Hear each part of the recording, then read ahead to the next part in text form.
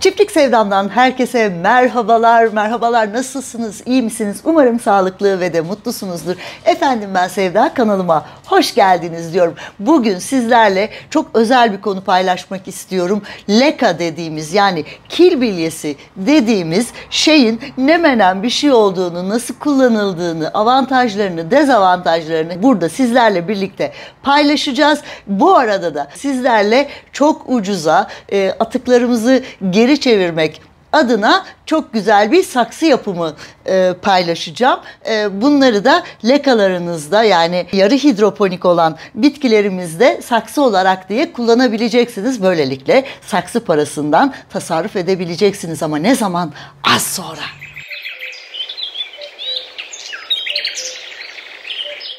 Leka yani kir bilyesi dediğimiz şeyler sabahları çocuklarımıza yaptığımız hani o kakaolu e, mısır gevrekleri var ya işte bakın onlara böyle benziyor. Tek farkları bunlar tabii ki yenmiyor efendim. Yemememiz gerekiyor. Buna dikkat etmemiz lazım. Şimdi bu lekaların bir kısmı bu şekilde yuvarlak olarak gelebiliyor. Böyle lav taşı dediğimiz şöyle yine gözenekli lav taşları olarak gelebilirlerken aynı zamanda böyle yine bunların da her birisinde gözenek var. Neden bu gözenekler var? Hemen ondan bahsetmek istiyorum sizlere. Çünkü bu killer 1200 derece ısıya maruz bırakılıyorlar. O 1200 derece ısının içerisine girdikleri anda killer patlamaya başlıyorlar. Dolayısıyla içlerinde e, böyle delikler, bir takım gözenekler oluşmaya başlıyor. Bunların bazısı işte yuvarlak yuvarlak formda olabilirlerken bazıları da böyle daha minnak minnak küçük küçük ayrıştırılabiliyorlar.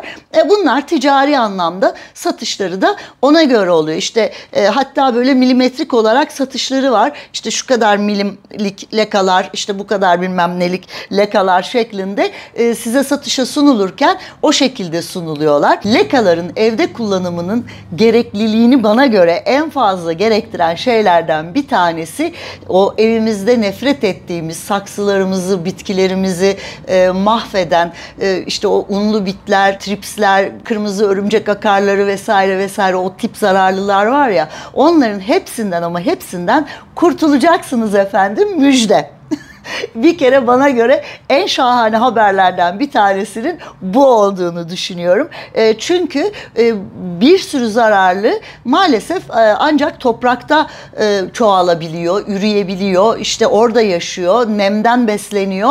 Daha sonra da e, gidip yapraklarımızın orasına burasına yerleşip yayılmaya ve de çoğalmaya başlıyorlar ve bizler de baş edemez hale geliyoruz. Hatta hatta maalesef en sonunda bitkimizi kaybetme riskiyle bile karşı karşıya yakalıyoruz ve de bitkilerimizi de kaybediyoruz çoğunlukla. Ee, bir başka e, güzel taraflarından bir tanesi de e, aslında tüm bitki severlerin en çok yaptıkları hatalardan bir tanesi bitkileri çok fazla sulamak yüzünden öldürüyoruz. Ben bunu her videomda e, biliyorsunuz sık sık sizlere hatırlatmaya gayret ediyorum. Bitkiler aslında e, çok fazla sulanmaktan ölüyorlar, sulanmamaktan değil. Yani e, şeyleri, dirençleri aslında susuzluğa daha yatkın. Bu anlamda bitkileri en çok öldüren şeylerden bir tanesi çok fazla suluyor olmamız.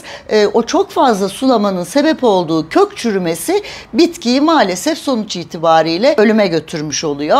Ee, onun için de artık işte sadece üzülmekle yetiniyoruz ya da yeniden bitki alıyoruz ama buna da son eğer leka kullanmaya başlarsanız bu dertten de kurtulacaksınız. Elbette lekaların da tabii ki dezavantajları var. Onlardan da bahsedeceğim. Ama şimdi ilk başta e, dediğim gibi leka böcek konusunu ortadan kaldıracak. Bunun bir sorun olmasını ortadan kaldıracak. E, ikincisi bitkinin çok daha sağlıklı ve güzel bir şekilde gelişmesini de sağlayacak. Bunların hepsi son derece önemli şeyler. İşte çünkü zararlı yoksa doğal olarak daha sağlıklı bir bitki var elimizde. Yeni bir toprak aldınız, toprağı saksıya doldurdunuz. 3 ay boyunca en aşağı işte 6 ay boyunca e, bitkiniz o topraktaki besinlerden e, faydalanacaktır bir şekilde. Gübre gerektirmeyecektir, istemeyecektir. Ama lekanın e, tek dezavantajı içinde hiçbir besin maddesi içermiyor oluşu.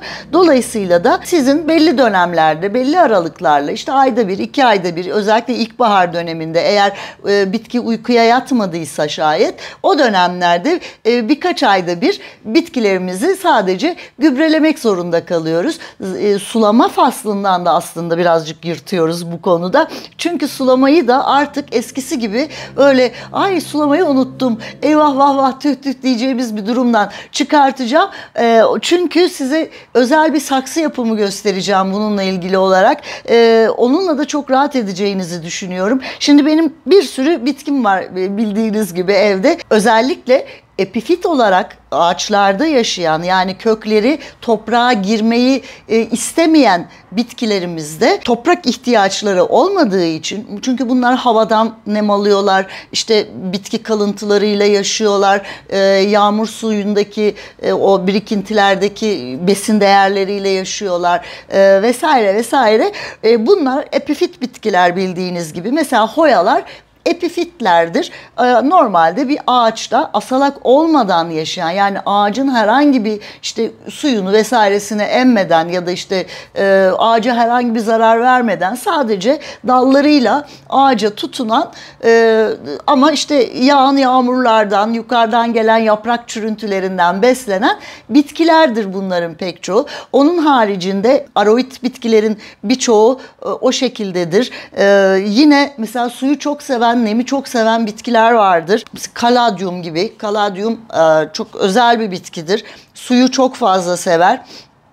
E, şimdi bunu da az sonra sizlerle birlikte leka ortamına yani artık yarı hidrofonik bir ortamın içerisine alacağım. E, burada mesela bir tane Alokasya zebrinam var. Başına gelmedik kalmadı bu çocuğumun. Kormlardan bir tanesini bu Alokasya'ya yerleştirdim e, ve bu şekilde e, leka ortamında bana yeniden e, minik bebeğini verdi. E, yeniden hayata tutunmaya çalışıyor. Gerçekten işte üstüne bir şey düşürdüm, kırdım, sıcakta kavruldu, güneşte kaldık. Kal, yani başına gelmeyen kalmadı. Sürekli tek bir tane yaprağı çıkarıyor diye ölmek durumunda kalıyor. Fakat o bir tanecik kormundan sürekli bir şekilde hayata tutunmaya çalışıyor. Artık bu sefer dedim ki yok ben seni yaşatacağım bir şekilde. Biliyorsunuz ben bitkilerimden hiçbir şekilde vazgeçmiyorum. Sevdiklerimden vazgeçmediğim gibi bitkilerimden de son anlarına, son dakikalarına kadar hep onlarla bir umutla elimden gelen her türlü yardımla, çabayla hep yanlarındayım. Ee, orkideler, orkideler de epifit bitkiler bildiğiniz gibi. Mesela şurada şöyle katliam var. Bu katliayı daha çok yeni e, leka ortamına koymama rağmen hemen buradan müthiş bir kök gelmeye başladı. Çünkü çok sevdi e, bu köklü ortamı. Şurada yine böyle bu, bunu Tayland'da bir yerden arakladım ama e, bunun tam olarak ne olduğunu bilmiyorum. Dendrobium olabilir bu. E, aa bunda da gelmiş yeni kök. Şöyle görebiliyor musunuz bilmiyorum ama şuradan kök Umarım görüyorsunuzdur. O da oradan yeni kökünü vermiş. Aa çok mutlu ettin beni. Çok tatlısın. Böyle seviniyorum işte. Hoyalara gelince hoyalarda şu şekilde şöyle bakın hoyaları da daha çok yeni yine bu leka ortamına koymama rağmen şuradan görebiliyorsunuzdur umuyorum beyaz beyaz yeni kökleri görüyorsanız eğer onlar yeni ve mutlu kökler.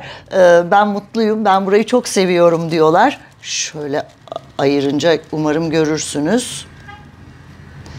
Evet, böyle e, mutlu oluyorlar. Çünkü bunlar dediğim gibi epifit bitkiler. E, zaten bunları işte toprak ortamında aslında mutlu değiller. Ha onları da ne yapıyoruz? İşte orkide toprağı dedikleri işte o çam kabukları vesaireleri filan e, karıştırarak yine böyle çok havadar e, onlara doğal yaşamlarındaki yaşam biçimlerini vermeye çalıştığımız o ortamlarını simülize etmeye çalıştığımız e, toprak e, diyelim e, karışımları var. O karışımları kullanıyoruz. Ama Bütün bunların aslında dediğim gibi hiçbirisine gerek yok. Leka var çünkü. Bir başka lekanın e, güzel tarafı evet leka biraz e, pahalı bir e, şeydir, üründür bu anlamda. Fakat bir kez aldıktan sonra ondan sonra ömür boyu dikkat edin önemli bir şey söylüyorum. Ömür boyu lekayı tüm bitkilerinizde kullanmaya devam edeceksiniz. Yani aslında e, kil bilyesi denilen şey bitkilerinize yapacağınız ciddi bir yatırımdır. Yavaş yavaş zaman içerisinde gittikçe çoğalta çoğalta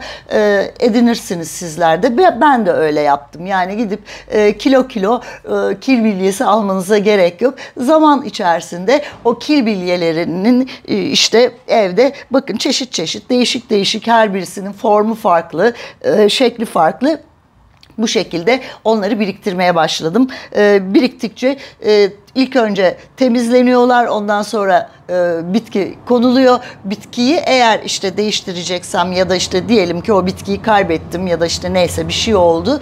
E, lekanın değişmesi gereken durumda lekayı bir kere daha suyun içerisine koyuyorum. Birkaç damla sirke damlatıyorum. Azıcık onun içerisinde bekletiyorum. Bunları fırınlayanlar da var aslında. Yani içindeki işte bütün o e, şey mikrop ölsün işte herhangi bir canlı vesaire işte bir bakteri vesaire varsa içinde mantar e, enfeksiyon yaratabilecek bir şey varsa diye fırınlayanlar da var. Ben gerek duymadım. Bugüne kadar da hiç böyle bir sorun yaşamadım. Sadece yıkayıp temizleyip yeniden yeniden kullanabiliyorsunuz. Ömür boyunca bir daha toprak e, satın almanıza gerek kalmıyor. Toprakları da bildiğiniz gibi belli bir zaman içerisinde kullanabiliyoruz ancak sonuç itibariyle o işte sulamalarla vesaireyle e, hem besin değerini yitiriyor, kaybediyor hem de toprak o kendi e, öznel yapısından da aslında birazcık e, çıkmaya başlıyor bir süre sonra. Uzun süreli o toprakları kullanmaya başlayanlar mutlaka yaşamışlardır. Artık topraklar taşlaşmaya başlıyorlar çünkü. Şimdi lekayı nasıl kullanacağız? İlk önce lekayı satın aldık. Evimize geldi leka. Ondan sonra yapmamız gereken çok önemli bir şey var. Lekayı güzel bir bir daha kullanmayacağınız bir süzgecin içerisinde güzelce defalarca yıkamamız gerekiyor. Çünkü bu o 1200 derecelik patlama anı ile birlikte lekalar aynı zamanda çok fazla toz üretiyorlar. O tozları da lavabonuza şayet dökerseniz lavabonuzun tıkanma ihtimaliyle karşılaşabilirsiniz. Bu çok önemli bir bilgi. Lütfen ya tuvalet giderine dökmeye gayret edin. Onu bile tavsiye etmiyorum. Eğer mümkünse mutlaka dışarıda topraklı bir bahçelikli bir alanda vesaire bir yerde o şeyden atıklardan o şekilde kurtulun. Ama e, defalarca yıkanması ve artık temiz su çıkana kadar diyelim hani neredeyse e, yıkanması gerekiyor. Lekaları yıkadık, temizledik. Ondan sonra neye ihtiyacımız var? Lekayı için lekanın içine koyacağımız bitkiyi alıyoruz, geliyoruz bir şekilde. Şimdi onu da nasıl gösterelim? Size şöyle gösterelim mesela. Bu bir aslında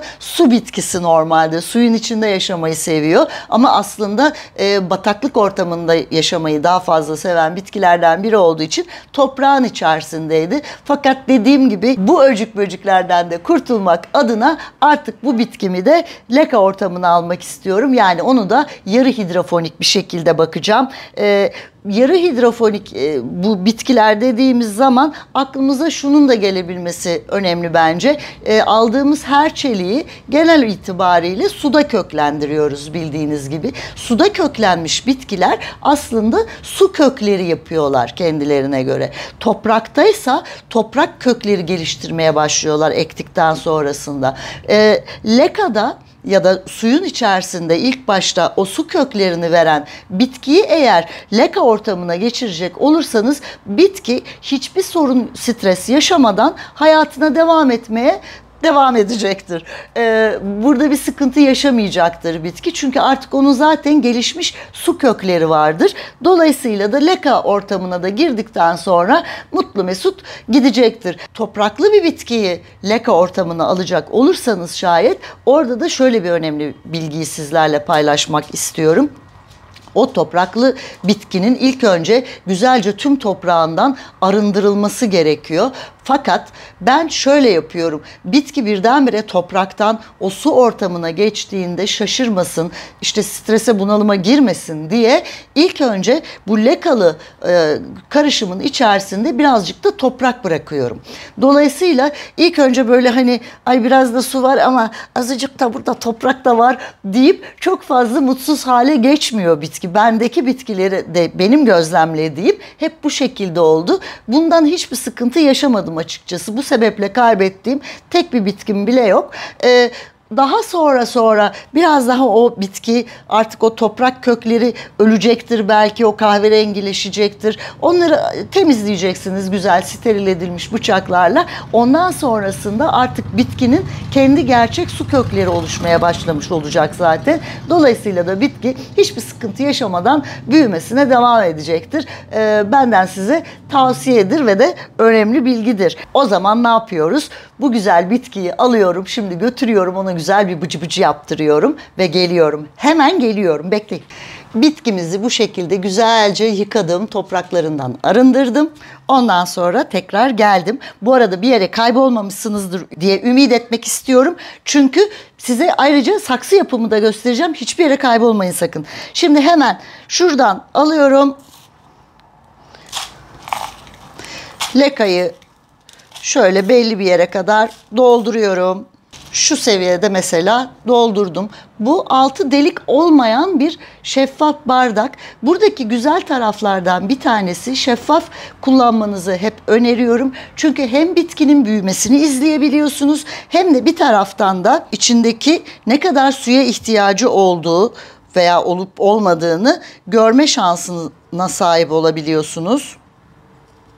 Şöyle bitkiyi içine bakın yerleştirdim. Burada bir de ben şöyle bir şey yapıyorum. Bitkiyi içine koyduğum zaman kökün olduğu o son kısmı şurada işaretliyorum. Bir kalem yardımıyla şöyle bir işaret koyuyorum. Kökün nerede olduğunu görmeniz de çok önemli çünkü bu aşamada. Dedik ya hani böyle köklerin çok fazla bıcık bıcık suyun içinde kalmasını aslında istemiyoruz diye. Daha sonra tekrar üzerine buradan lekaları koymaya devam ediyoruz. İyice dolduruyoruz. Aslında e, lekayı ıslattıktan sonra bitkilerin üzerine koymak her zaman çok daha faydalı olacaktır. Ama ben şimdi daha kolay yapabilmek adına bu çekimi sonrasında kurumuş olan lekaları kullanıp şöyle güzelce yavaş yavaş koyduğum takdirde bakın o işaretlediğim yere kadar içerisinde sadece su dolduruyorum. Bu biraz sonra çekecek bütün suyunu. Kuru olduğu için birazcık daha e, şeyin üzerini geçtim. O çizginin üstünü geçtim. Ama normalde o çizgiye kadar ıslak koyacağınız için lekayı çizgiye kadar suyu koymanız son derece yeterli olacaktır. Sonrasında da su seviyesini çok rahatlıkla kontrol edebildiğiniz için aslında son derece rahat edeceğiniz bir sistemdir bu. Şimdi bu e, delikli olmayan yani e, altında herhangi bir drenaj deliği olmadığı için bu şekilde kökleri korumayı tercih ettiğimiz bir yöntem. Şimdi sizlere nasıl yeni bir saksı yaparız, nasıl atıkları doğaya kötülük vermeden dönüştürebilirizle ilgili e, güzel bir saksı yapımı göstereceğim sizlere izin verirseniz. Şahane olacak inanın. Şimdi bulduğumuz bir pet şişenin üzerindeki bu şeyden kurtuluyoruz. Çünkü içini görmemiz gerekiyor. Şimdi bu şişeyi tam orta noktasından şöyle şu noktadan ikiye keseceğim. İkiye ayırdık saksımızı. Şuraları kesildiği zaman elimizi e, kesebilecek ya da bize sıkıntı verebilecek e, kesikler oluşturur mutlaka. Onları bir ateş yardımıyla şu şekilde şöyle yanlarından geçtiğiniz zaman hemen eritirsiniz ve o sıkıntı yaşanmaz. Herhangi bir yerinizi sonrasında kesmeyecektir. Son derece basit bir önlemle böyle kurtulursunuz o konudan. Alt kısmı. Şimdi geldik buraya. bunun için bu kutunun kapağını üst kısmını deliyoruz. Şöyle kapakta bir delik oluşturdum. Onu da şöyle azıcık mümkün olduğu kadar genişletmeye çalıştım. Evet kapağımızda bir adet şurada deliğimiz var artık. Şöyle biraz daha genişletelim. Evet. Sonra sıradaki hareket şöyle bir şey olacak. Şimdi pamuklu bir ipe ihtiyacımız var. Pamuklu olmasının nedeni çok çabuk kurumayacak, suyu da e, gayet güzel bir şekilde çekecektir diye. Yani herhangi bir ip lütfen kullanmayın. Tavsiye etmem. Yünleriniz olabilir ama sentetik barındıran yünlerden olmasın lütfen. Sonra bunu içerisinden kapağın geçirdik. Şöyle. Şunu da şöyle yaptık kapağı. Bakın kapağı tekrar kapatıyorum yerine.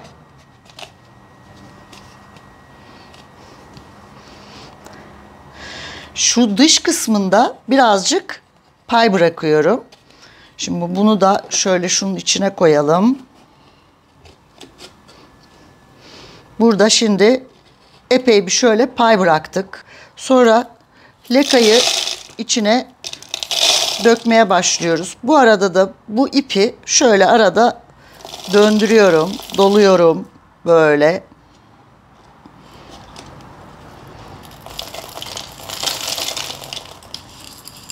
Evet.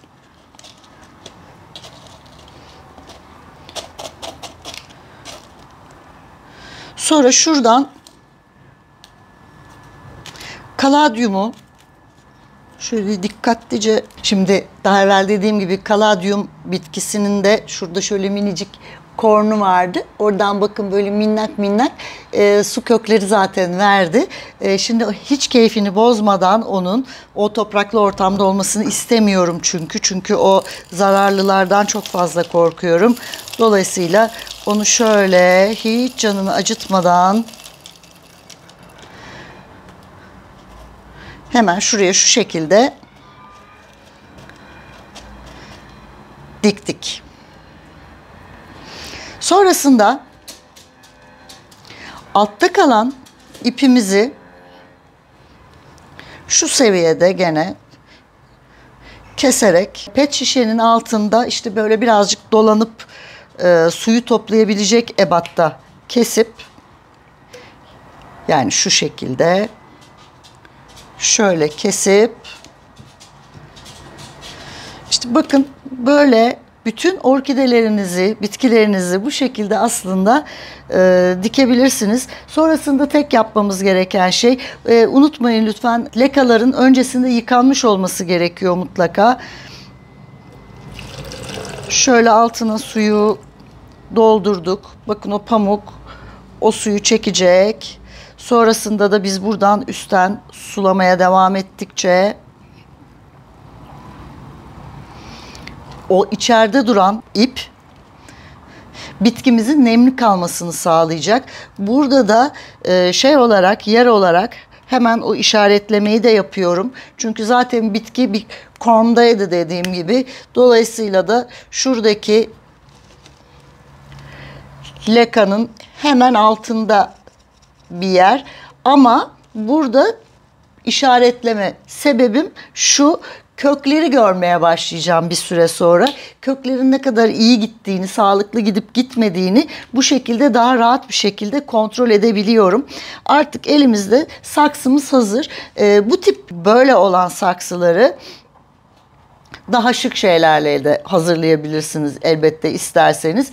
Ee, ben kafelere gidip işte fazla bardağınız var mı deyip gelip alıp onları bir şekilde daha sonrasında tekrar bu şekilde dönüştürüyorum. Saksı oluyorlar bana. İşte e, orkidelerimde kullanıyorum. Hoyalarda kullanıyorum bunları. Değişik değişik hepsinin kullanım alanlarını yaratmaya çalışıyorum mümkün olduğu kadar. Çünkü niye dünyayı seviyoruz? Daha çok uzun yıllar çocuklarımızla, torunlarımızla birlikte yaşamak istiyoruz. Efendim şimdi artık Leka ile ilgili dediğim gibi sizlere e, şöyle bir özet geçmek istersek eğer e, son derece kullanışlıdırlar, e, böcek barındırmazlar. En büyük derdimiz olan evlerimizdeki o böcek istilasından hem bitkilerimizi hem kendimizi kurtarmış olabiliriz böylelikle. Ama sizden ricam bir anda bir seferde tek seferde lütfen tüm bitkilerinizin üzerinde denemeyin. İlk önce mesela eğer böyle çok fazla zararlının saldırdığı bir bitkiniz varsa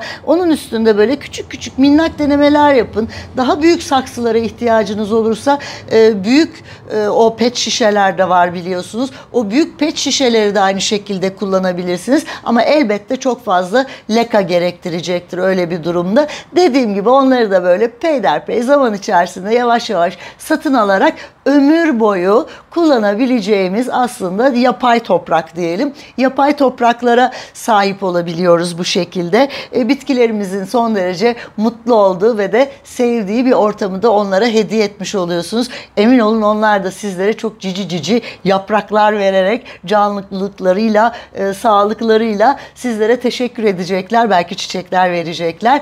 Bakalım bakalım göreceğiz. Lütfen siz de Leka'yı kullandıktan sonra yorumlarınızı aşağıya bırakmayı ihmal etmeyiniz. Çünkü biz bundan hem çok büyük mutluluk duyuyoruz. Biz de sizinle birlikte öğreniyoruz. Her birimizin tecrübesi farklı. Evlerimizin e, aldığı ışığı farklı, durumu farklı, e, bakım biçimlerimiz farklı. Bunları paylaştıkça büyüyeceğiz hep birlikte. E, biliyorum ki abone olup oldurmaya devam ediyorsunuz. Eğer videomuzu beğendiyseniz lütfen beğen tuşuna basmayı ve de bildirim zilinizi açmayı unutmayınız efendim. Önümüzdeki hafta yine yeniden görüşebilmek dileğiyle şimdilik hoşçakalın ama yeşil kalmayı unutmayın.